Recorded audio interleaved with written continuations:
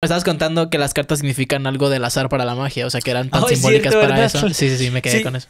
Este, qué buena memoria para seguir el hilo de algo que dejé en el pasado. Yo ya lo hubiera dejado ahí para siempre.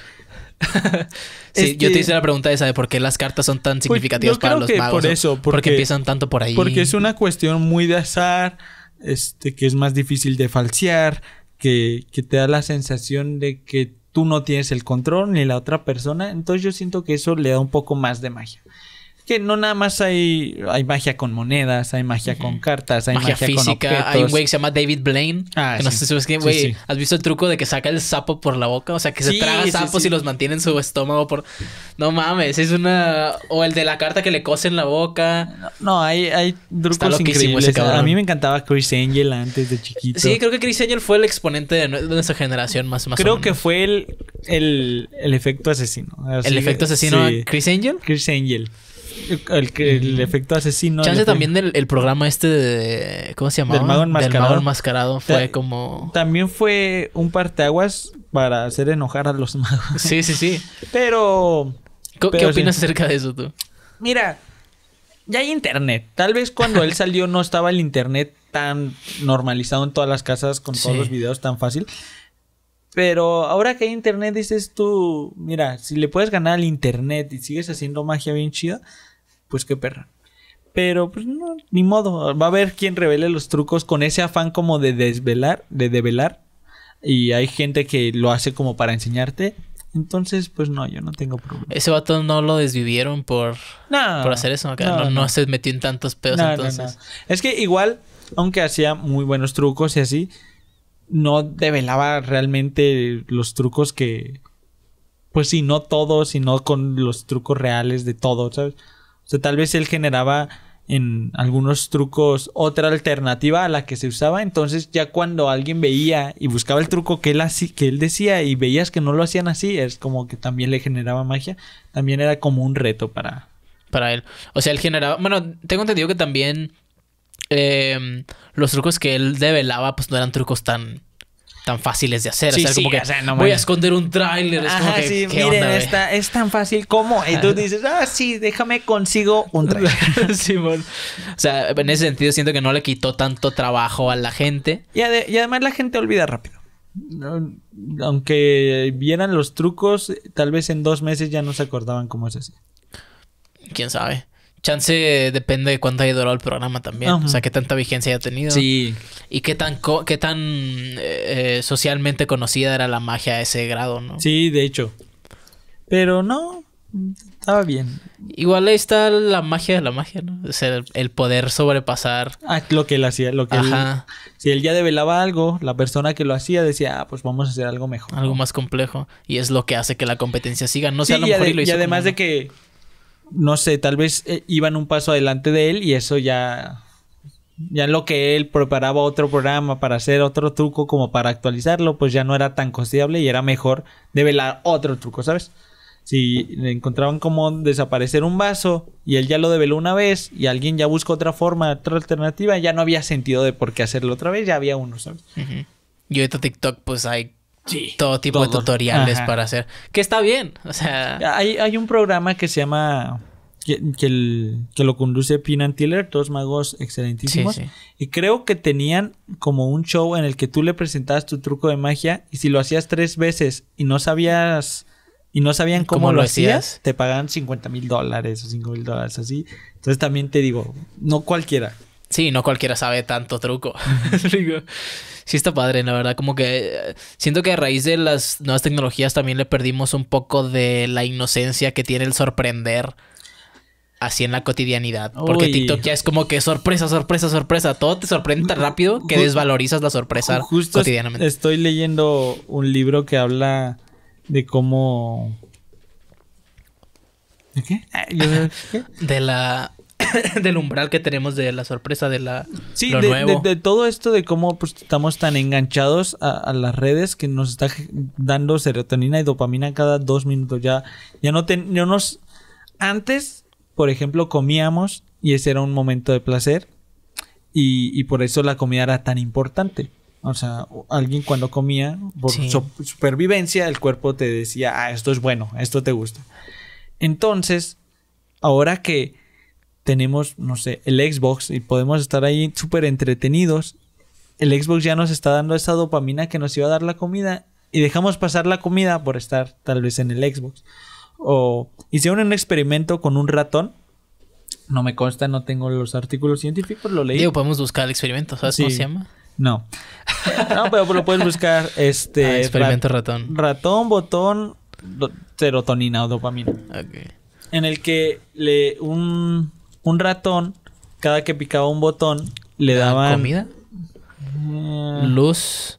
Arroja luz sobre los trastornos serotonina. ¿Experimento? A lo mejor. Puede que sea este, ¿eh? La hormona de la felicidad crucial. A ver. Eh, unos científicos de Alemania. eh, se tienen cuestión, ok. ¿Qué dicen los científicos de Alemania? Cuya labor. y yo, ¿qué voy a leer? Así no explicando, explicando la serotonina y todo esto. Eh, verificadas. Molécula. No, pues siento que es como una investigación. Descubrimientos en primer lugar, ¿no? Países. Pues no había nada como de un Bueno, ah, experimento, ¿no? Experimento. sí, ponle. Pero sí, cada dos segundos. Un estudio con ratones arroja luz sobre los trastornos. A ver. Artículos, no. Trabajo dirigido. Del isocampo. Bueno, lo que hacían. eh, Sí. le, generaban. Creo Mientras que, voy explicando. creo voy que un, ti- tipo de impulso en el cerebro cada que presionaba un botón. Y lo que hacía es que pues se sintiera feliz, ¿no? De una manera. Eh, antes le daban comida y le dejaron de dar comida. Tal vez lo estoy diciendo mal, corríjanme. Pero cada que lo hacía, le daban. Le daban su toque de, de serotonina, de felicidad. Y cada vez se hacía más adicto al botón. Se hizo tan adicto al botón que se olvidó de comer, pero no de presionar el botón. Entonces se murió exhausto presionando el botón y de hambre. Porque estaba tan cansado de presionar el botón para conseguir esa serotonina o e- e- esa hormona de la felicidad que ya no se preocupaba por comer. Entonces se murió de cansancio y de hambre. Porque lo que él más buscaba, más que la comida para tener energía, Era lo que le hacía sentir la comida. Entonces está interesante todo eso. Y siento que es algo que nos está pasando a nosotros. Siento que ya estamos siendo más veloces consiguiendo placer que en el tiempo en que no lo tenemos. Muy, muy reflejado lo que se ve en la película de los sentimientos que hablan, elementos, ¿o ¿cómo se llama? Eh, Donde sale el Riley y sí, sí sé cuál. Eh, puta, Ins- Inside intensamente. intensamente. Este, en el que cuentan, no me gusta mucho este mensaje de que sin la tristeza no hay felicidad. Y creo que nosotros ya no nos estamos dando tiempo de estar, De estar tristes, tristes. o de estar aburridos. de pensar. Sí, ya cuando uno espera el camión ya está en el cel y está viendo videos. Sí. Entonces en el momento en el que buscas algo que te haga sentir bien, ya están las, las varas demasiado altas porque todo el día estuviste lleno de estos ataques de felicidad, de, de buscar el placer instantáneo. Y yo soy adicto al celular. Ajá, exactamente. sí, está cabrón. Pero platicamos eso acerca de a la la- el nivel de sorprender. Sí, pues ahorita vemos en niños que ya no se sorprenden con nada. Sí. Antes tenían la imaginación para crear sus propias narrativas y ahorita es como que, mami, dame un Xbox. Y ahí, ok, te voy a Xbox. Y están viendo la tablet. Sí. ti, ti, ti, pinche luces. Y es como, ¿dónde está la...? O sea, que, que se está perdiendo. Creo que hay una sobreestimulación En la sobreestimulación, muy ajá. pequeño. Y no quiero sonar a esa generación Sí, que no, habla en de mis "Oh, tiempos sí, estábamos en las canicas. jugábamos". y- Las canicas, amigo. No, yo, creo que las tecnologías desde pequeños está bien, pero siento que el cómo se consume ahorita, los algoritmos están hechos perfectamente Para destruirte. estar ahí, Para- para, matarte. No, para estar ahí todo el día, para estar todo el día viendo el celular. Ajá. Entonces, si le das eso a un niño desde chiquito, que todo el tiempo está generando esa visualización en la que está creando una forma de placer instantáneo, lo vas a hacer adicto inmediatamente. Es como darle cigarro a un bebé. Es, es imposible que no se vuelva adicto. Y ya no va a haber otra cosa con que complacerlo tan fácil. Entonces, por eso Sí, ya hay gente que no puede comer sin ver un video. me parece... Sí, o, o gente que no puede estar sin el cel y, Y es por eso mismo de que nos genera tantos estímulos. Tanta ansiedad ya no tener el estímulo. Justo. Ya no tenemos tiempo para aburrirnos y eso está mal. O sea, aburrirse Sí. era importante para que las cosas nos llamaran tanto la Valorar. atención. Para valorar las cosas que no te Ustedes no aburren. valoran las cosas, chavos. En mis tiempos. Sí, pues estaba más chido. Señor, ¿quién es? Ya, vaya. ya sé, ¿verdad? Está ahí en la orilla. No, no, no, vamos a poner de cosas. Eh, sí, lo experimento, pero creo que ahí también es donde tienes que aprender a hackear el algoritmo dentro de lo que cabe. Porque es como, ok, si me va a estar atacando por todos lados, quiero poder al menos decidir qué me va a estar atacando y qué me va a estar nutriendo. O Sí, sea, creo que es válido también. también lavar la losa escuchando algo interesante.